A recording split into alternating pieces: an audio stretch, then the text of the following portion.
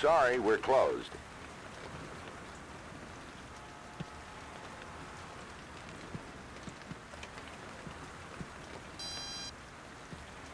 I'm just looking for a copy of Days of Fire.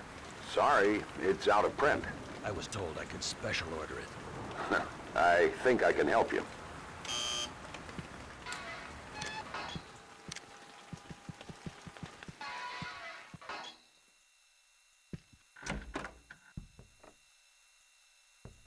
Sam, it's good to see you.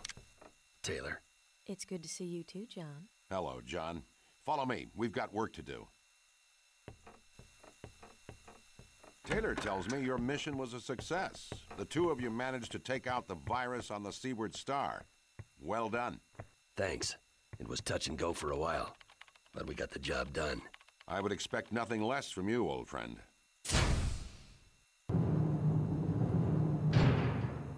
What's with all the extra security around here? The shop's armory in Santa Monica was taken out recently. I thought you'd heard about it. Well, in my defense, I've been kind of busy. Hmm, so you have.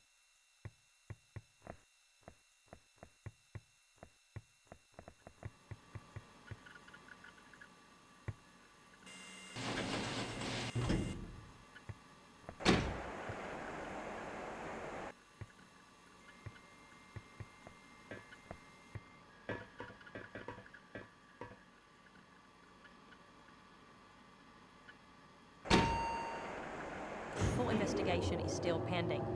Our agents still aren't sure what happened. In the meantime, we can't be too careful. Vergara seemed to know a great deal about the shop. And about me. I don't really see how he got so much information. Could the two incidents be connected? You suspect an inside job, John? A mole? It's just a hunch I have. But it could be. Sounds like something for internal affairs. I'll get them to look into it right away. Good idea. As you said, we can't be too careful. Our research department is trying to make sense of this whole mess with Prometheus, Vergara, and the Seaward Star.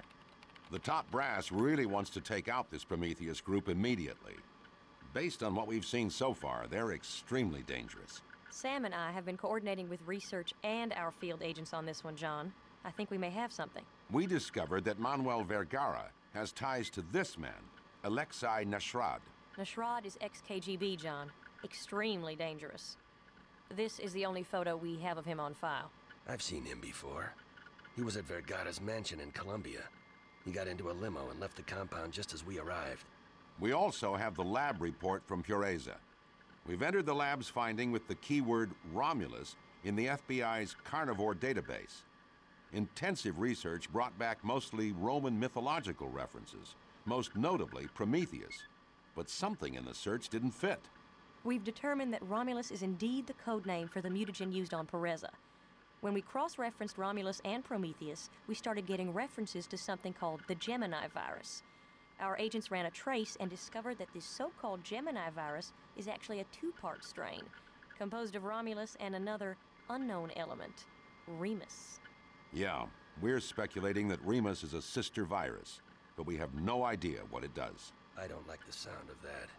Our research hit was at a dead end when the carnivore taps turned up an email that mentioned Prometheus and, more importantly, Remus. According to the email, Remus is currently in development in Hong Kong. We've even got an address. Who sent the email? Someone with the net name Deviant1. That's all we know. Whoever Deviant One is, they've successfully masked their identity from the carnivore program and the FBI. The identity trace failed. So how do we know this Deviant One guy is legit? We don't. Unfortunately, it's the only lead we have. Good point. When do we leave? You're on your own on this one, John. I'm going to stay here and help Sam find out more about Romulus and Deviant One. I'm also going to see if we can find out how Alexei Nashrad fits into the picture. We've arranged transportation for you to Hong Kong. Everything's set to go. I'll let you know if we find anything. I'll do the same. Be careful, John. You too.